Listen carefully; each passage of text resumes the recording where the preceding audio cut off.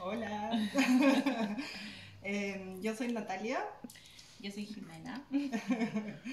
Em, soy educadora social y arteterapeuta. Y yo antropóloga y arteterapeuta. y juntas estamos creando el Club de Arte y Lectura. Eh, aquí, bueno, estamos en la Panafricana, en, el barrio del Raval. Eh, bueno, nosotras somos vecinas del barrio y, queríamos como hacer alguna una iniciativa, bueno, para trabajar con niños, porque nos interesa.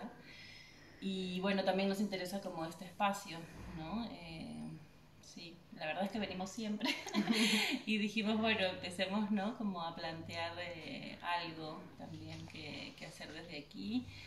Y bueno, la idea salió un poco así, como mezclar, eh, bueno, tenemos una compañera también, la Conchi, que ahora está en Perú, bueno, las dos somos peruanas también, y nos interesaba un poco como veía, empezábamos a, a ver como muchas coincidencias eh, en la relación África-Perú, digamos, y nos interesaba un poco como explorar desde ahí, ¿no? Eh, esta compañera está más metida en el mundo de la lectura y nosotras pues en el mundo de las artes, digamos, y queríamos generar como un espacio para que confluyan estas dos cosas. Sí, pues sí.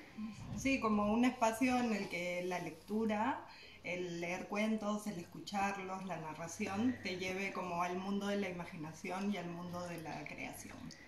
Así que este espacio se plantea como desde ese lugar, ¿no? Vamos a utilizar como muchos cuentos este es el primero que vamos a utilizar, la historia de Ilombe. Y mm, a partir de ahí, pues vamos a, dar como muchos dispositivos de, artes en diferentes lenguajes. Vamos a utilizar música, eh, danza, movimiento, pintura, escultura, ¿no? Y como de esta forma que la lectura y las artes, pues se abracen, ¿no? Y nos lleven a estos mundos eh, imaginativos creación. Tenéis como dos actividades, ¿no? Principalmente. Una de ellas es el Club de Arte y Lectura, que, en, bueno, ¿cuándo se va a desarrollar y un poco para qué edades eh, va dirigido? Sí, lo vamos a empezar este lunes 12, será todos los lunes por las tardes, ¿no? Hemos pensado un poco como después de la escuela, como entre 5 y media y 7 eh, de la tarde. Y bueno, las edades, eh, hemos pensado un rango relativamente flexible, como entre 5 y 10 años.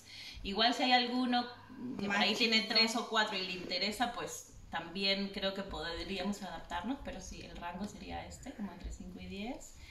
Em, eso, básicamente, como, bueno, todas estas tardes. Y, y un poco lo que queremos es que eso, ¿no? Como que los niños, bueno, recuperen el vínculo con el libro, ¿no? A, partir de, la narración de esas historias, pero desde un lugar como más vivencial, ¿no? Que, que, estos dispositivos desde las artes les permitan como entrar en la historia de una manera más lúdica, más divertida, ¿no? esa es un poco la idea.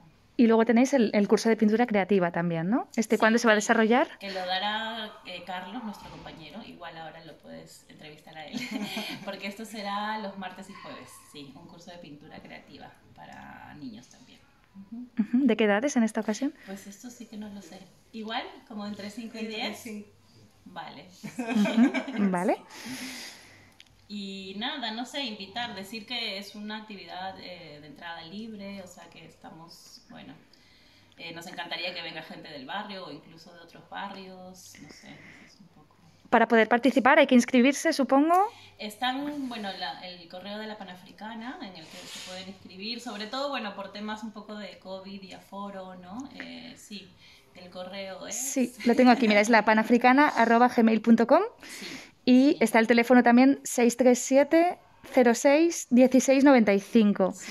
Y la dirección también, ¿no? Para que lo tengan presente, calle Junta de Commerce número 20, en el barrio del Raval, al ladito de la distribuidora Virus, que también es otro punto importante de, de la zona. Vale, pues muchísimas gracias, chicas.